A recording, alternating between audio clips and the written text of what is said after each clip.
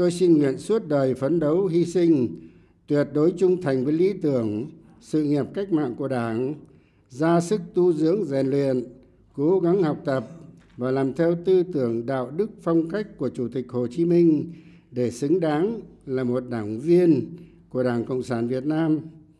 Như lời của một bài hát, nếu là hoa, hãy là hoa hương dương, nếu là chim, hãy là chim bồ câu trắng nếu là đá, hãy là đá kim cương. Nếu là người, hãy là người cộng sản.